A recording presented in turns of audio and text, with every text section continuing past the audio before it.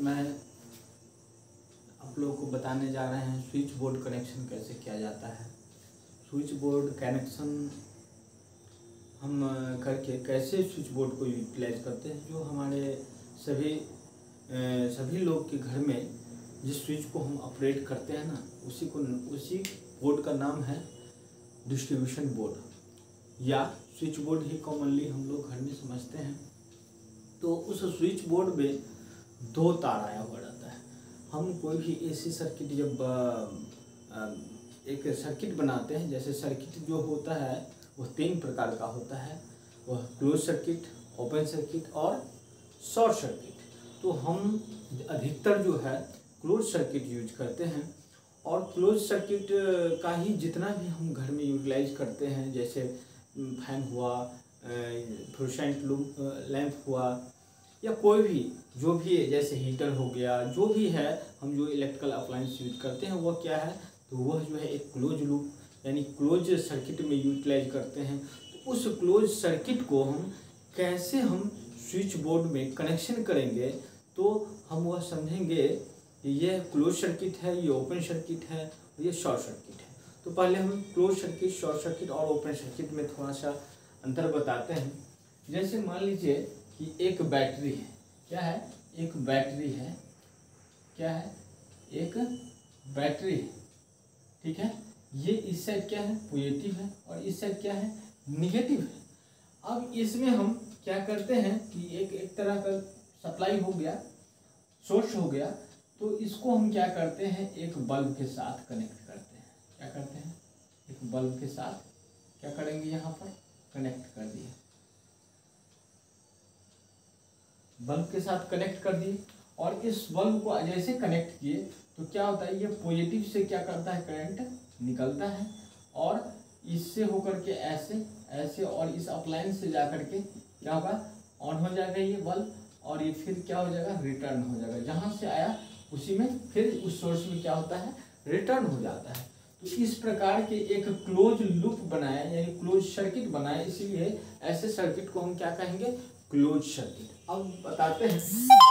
Close circuit को हम क्या करते हैं? ऑपरेट करते हैं। जिस प्रकार से हम जैसे कोई गाड़ी चलाते हैं ना तो गाड़ी जब चलाते हैं तो उसको क्या होता है कि कम बेसी जब ज़रूरत, जैसे मेरा ज़रूरत हो, उस ज़रूरत के अनुसार हम उसको कंट्रोल करें, है ना? उसी प्रकार इस सर्किट को कंट्रोल करने के लिए हम क्या यूज़ करते हैं? इसमें हम क्या यूज़ कर देते हैं इसमें?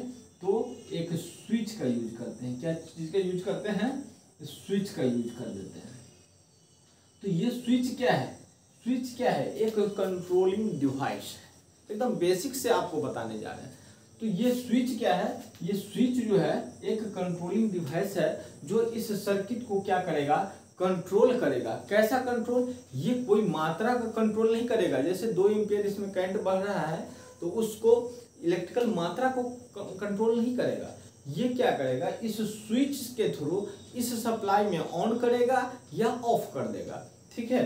तो इसके मार्फत से क्या होगा? इस, इसके थ्रू जब करंट जाएगा, इससे हम कंट्रोल जब ज़रूरत हो तो इसको ऑन करेंगे। जब ज़रूरत नहीं हो तो ऑफ़ कर लेंगे। तो ये क्या है? एक कंट्रोलिंग डिवाइस है। फिर हम इसमें बहुत सारे डिवाइस यूज़ करते हैं। जैसे प्रोटेक्शन के लिए जो है, जैसे मान लीजिए इसमें शॉर्ट सर्किट हो गया या कोई फॉल्ट आया तो उससे बचने के लिए हम क्या करते हैं? फ्यूज यूज़ करते हैं। है ना? अब तो मॉडर्न में जो है, जो एम से भी यूज़ होने लगा है तो हम जनरली जो समझते हैं कि इसमें कंट्रोल करने के लिए स्विच यूज़ करते हैं और प्रोटेक्शन के लिए हम क्या यूज़ करते हैं? फ्यूज फ्यूज यूज़ करते हैं। तो अब ये जो है, ये क्या है? एक क्लोज सर्किट है। क्या है? क्लोज सर्किट क्लोज सर्किट क्या है? क्लोज सर्किट अब देखिए, थोड़ा सा ओपन सर्किट ओपन सर्किट का मतलब क्या होता है? ओपन सर्किट का मतलब ये होता है कि हमारे पास सोर्स तो होता ही है। हमारे पास क्या होता है? सोर्स तो अवेलेबल है। क्या है ये? सोर्स है। क्या है? सोर्स ये भी क्या है? सोर्स ठीक है? तो हम इसमें क्या करते हैं? हम एक क्या कर दिए? ये इसमें स्विच लगा दिए। कौन क्या लगा दिए? स्विच लगा दिए। और इसमें क्या कर दिए हम? बल्ब कनेक्ट कर दिए। क्या कर दिए? बल्ब को कनेक्ट कोई भी इलेक्ट्रिकल अप्लायंस को कनेक्ट कर सकते हैं। तो हम कनेक्ट किए। तो इसमें देखते हैं कि जब ये करंट इससे निकलता है पॉजिटिव से जब निकलता है, और फिर जैसे इससे यहाँ पर क्या है? यहाँ पर यहाँ पर स्विच क्या है? अभी क्या है? ऑफ़ पोजीशन में है। क्या है? ऑफ़ पोजीशन में। लेकिन यहाँ पर क्या है? ऐसे हम कर देते हैं इसको ऐसे। है ना? तो ये क्या है? ऑन पोजीशन में है। है ना? तो जब स्विच को हम ऑफ़ करते हैं तो ये क्या होता है? स्विच के अंदर में जो कनेक्ट और डिस्कनेक्ट करने वाला जो ट्रिपिंग होता है, वहाँ पर क्या होता है कि ओपन हो गया। तो ओपन हो गया तो इसके बीच में कोई करंट फ्लो नहीं होता। क्यों नहीं होता? क्योंकि इसमें हायर इन्फिनिट रेजिस्टेंस हो जा, हो जाता है। इसीलिए इसमें क्या है? करंट नहीं फ्लो होगा। तो इसमें करंट का मान इसमें करंट तो जाएगा ही नहीं, यहाँ से करंट तो आएगा बट इससे करंट जाएगा ही नहीं। तो ऐसे सर्किट को क्या कहते हैं ओपन सर्किट क्या कहते हैं? ओपन सर्किट ठीक है? ये क्या है? ओपन सर्किट है। अब देखिए, अब शॉर्ट सर्किट क्या होता है? शॉर्ट सर्किट शॉर्ट सर्किट का मतलब होता है शॉर्ट सर्किट में भी क्या होता है कि सोर्स तो होता ही है। क्या होता है? सोर्स तो होता ही है और उसमें अप्लायंस भी होता है। और उसमें क्या होता है? अप्लायंस अप्लायंस का मतलब जो यूटिलाइज करते हैं। जैसे फ़ैन हो गया फ्रिज हो गया, ये सब। तो ये क्या है? ये क्या है? मान लीजिए कि ये बल्ब अप्लायंस को हम कनेक्ट किए यहाँ पर। जब कनेक्ट किए और यहाँ पर क्या किए? हम स्विच को ऑन कर दिए। स्विच को क्या कर दिए?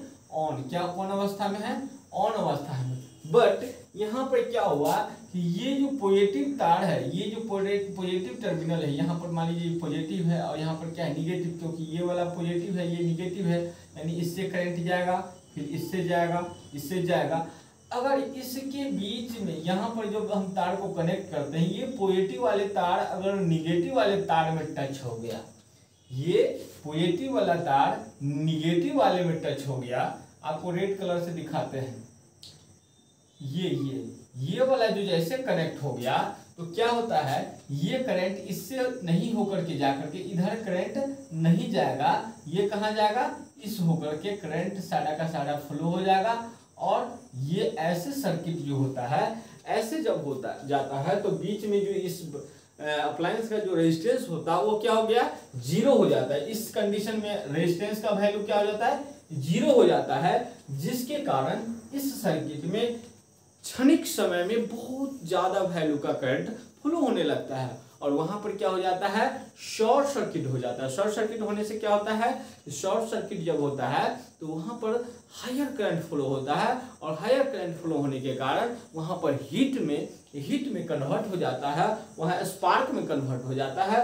और वह सर्किट वह डिवाइस क्या हो जाता है? मेल्ट हो जाता है, खराब हो जाता है ओवर करंट के कारण ओवर हीट के कारण। तो ये क्या हो गया आपका? ये क्या हो गया? इसको क्या कहेंगे? इसको कहेंगे शॉर्ट सर्किट क्या कहेंगे? शॉर्ट सर्किट ठीक है? तो मुझे उम्मीद है कि आप ओपन सर्किट क्लोज सर्किट और शॉर्ट सर्किट समझ गए होंगे। और जितने भी इलेक्ट्रिकल जो नेटवर्क है या कोई भी चीज़, जितना भी इलेक्ट्रिकल सर्किट है, उसमें यही तीन प्रकार का सर्किट बना हुआ हुआ रहता है। अब इस ये जो है शॉर्ट सर्किट है, ओपन सर्किट है, क्लोज सर्किट है, इसी का सारा रोल होगा जितना भी इलेक्ट्रिकल में सर्किट यानी कनेक्शन जो होगा, कोई भी अप्लायंस के साथ। अब अब ये जो सर्किट है, यही जो हो जाता है सबसे स्टार्टिंग में, ये वाला जो सर्किट है, यही सर्किट जो हो जाता है, हमको दो तरह का सर्किट मिलता है। इसी में हम क्या करते हैं, दो तरह का क्लोज सर्किट ही दो प्रकार का पढ़ते हैं, जिसमें क्या होता है एक पढ़ते हैं पैरालेल कौन सा? पैरेलल और दूसरा पढ़ते हैं सीरीज़ क्या पढ़ते हैं? सीरीज़ पैरेलल और सीरीज़ पैरेलल और सीरीज़ में क्या अंतर है? पैरेलल और सीरीज़ पैरेलल और सीरीज़ किसका ग्रुप है? तो क्लोज सर्किट का ग्रुप है. है ना? अब पैरेलल और सीरीज़ सर्किट क्या होता है? ये समझिए कि पैरेलल में इसका मतलब है कि जब कोई कोई मान लीजिए कि कोई यहाँ से इस ए बिंदु से बी बिंदु तक जाना है, किसी को मान लीजिए कि ए बिंदु से बी बिंदु तक जाना है, अगर हम कहें कि इसको एक ही रास्ता मिले ए और बी के बीच में जाने के लिए, अगर हम ए से बी तक पहुँचने के लिए एक ही रास्ता मिले इसमें कोई भी ट्रैफ़िक हो कुछ भी हो यानी जाने के लिए एक ही जब रास्ता होता है तो वैसे सर्किट क्या हो जाता है? सीरीज़ सर्किट हो जाता है। बट लेकिन अगर ए और बी के बीच में अगर ए यहाँ पर फिर से हम दिखाते हैं कि यहाँ पर ए है और यहाँ पर बी है तो यहाँ ए से बी के बीच में अगर हमको जाना है ए से बी तो हम ए, एक से जब अधिक रास्ता से हम चले जाते हैं एक से अधिक रास्ते से जो जब हम जाते हैं तो ऐसे सर्किट को ऐसे रास्ते को हम क्या कहते हैं कि पैरेलल है। यानी एक से अधिक रास्ता जिस सर्किट में हो जाता है तो वैसे सर्किट क्या हो जाता है? पैरेलल कहलाता है। तो आपको हम इस, पैरेलल और सीरीज़ के बीच विषय में विशेष रूप से जानकारी देते हैं। चलिए। तो हम यहाँ पैरेलल किसको कहते हैं और सीरीज़ किसको कहते हैं? इसको क्या कहेंगे? सीरीज़ क्या कहेंगे?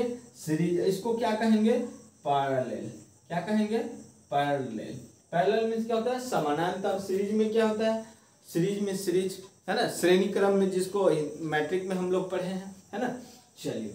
अब थोड़ा सा हम फिगर के थ्रू समझते हैं। हम जस्ट लाइक एक फिगर के थ्रू जब समझते हैं ना तो थोड़ा सा ज़्यादा ब्रेन में क्या होता है, उसका रिव्यू होता है, उसको ज़्यादा सोच सकते हैं तो हम बाय फिगर के थ्रू समझते हैं। जैसे जस्ट लाइक आप समझिए कि हम एक बल्ब है, दो बल्ब है क्योंकि दो बल्ब को हमको कनेक्ट जब भी अप्लायंस होता है ना तो एक से अधिक चीज़ को हम क्या करते हैं कनेक्ट करते हैं। एक तो ऐसे ही कहीं भी कनेक्ट कर सकते हैं, है ना? तो जब हमको एक से अधिक जब कनेक्ट ये क्या है? सिंगल है, लेकिन यहाँ पर क्या होगा? एक से अधिक बल्ब जब जोड़ना होगा क्लोज सर्किट में तो हमको क्या दो तरह का वो सर्किट बन जाएगा। या तो सीरीज़ बन जाएगा, या तो पैरेलल बन जाएगा। तो हम यहाँ पर दिखाते हैं आपको सबसे पहले पैरेलल तो पैरेलल में कैसे होता है? जैसे मान लीजिए कि हमको दो बल्ब जोड़ना है। ये ये यहाँ पर देख लीजिए, और यहाँ पर। मान लीजिए कि हमको ए पॉइंट है यहाँ पर। ये मान लीजिए ए पॉइंट है। और यहाँ पर क्या हो जाता है कि दूसरा क्या है? बी पॉइंट है। ना? यहाँ पर क्या है? बी पॉइंट और यहाँ पर देखिए ये बी वन और इसको बी टू मानते हैं। अब देखिए यहाँ ए से बी तक पहुँचने के लिए ए से बी तक पहुँचने के लिए हमको कितने रास्ता है? एक एक से अधिक रास्ता है। तो ऐसे सर्किट को हम क्या कहेंगे? पैरेलल सर्किट कहेंगे।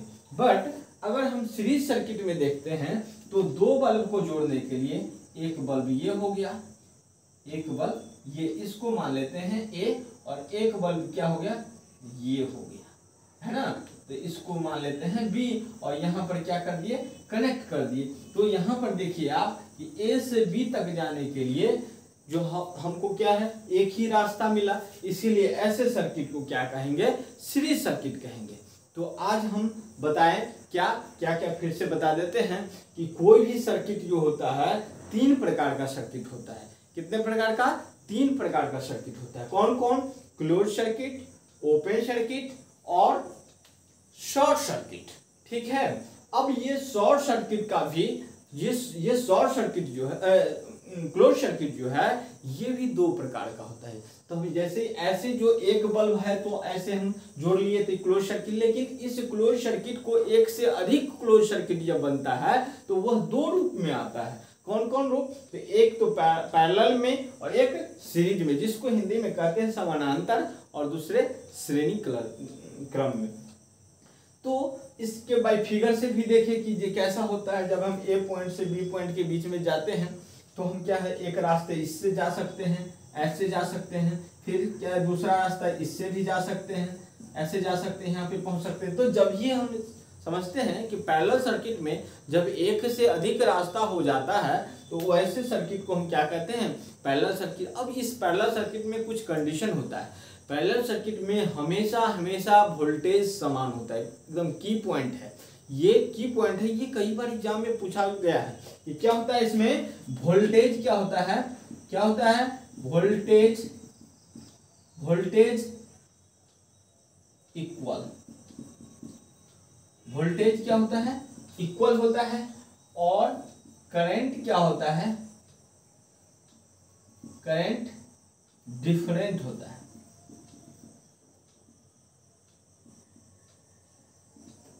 ठीक है? ये की पॉइंट है। इस की पॉइंट को याद रखना है। ये की पॉइंट को कई बार एग्ज़ाम में पूछा है कि वोल्टेज पैरेलल सर्किट में क्या होता है? वोल्टेज समान होता है और करंट डिफरेंट होता है। ठीक है? और इसमें की पॉइंट क्या है? इसमें की पॉइंट है आपका, इसमें क्या होता है? करंट समान होता है, यानी करंट सेम या करंट इक्वल करंट क्या होता है? इक्वल वोल्टेज डिफरेंट वोल्टेज क्या होता है? डिफरेंट होता है। है ना? तो आज हम यही सीखे कि पहले क्या close circuit open circuit short circuit अब क्लोज सर्किट जो होगा, एक से अधिक जो जुड़ेगा, एक साथ जब जुड़ेगा तो जैसे देखिए, ये ऐसे जब हम इसमें सप्लाई देंगे इसमें जैसे हम ऐसे सप्लाई देते हैं, यहाँ पर सप्लाई देते हैं, है ना? तो ये एक से अधिक सप्लाई हो गया। तो ऐसे सर्किट को क्या कहेंगे हम? पैरेलल सर्किट कहेंगे और ऐसे सर्किट को क्या कहेंगे? सीरीज़ सर्किट कहेंगे। तो आज इतना ही तक। और फिर हम नेक्स्ट क्लास में मिलते हैं। फिर हम इस क्लास के बाद जो है डिस्ट्रीब्यूशन बोर्ड हम बताने जाएँगे, क्योंकि इससे पहले ये सब ज़रूरी था। चलिए।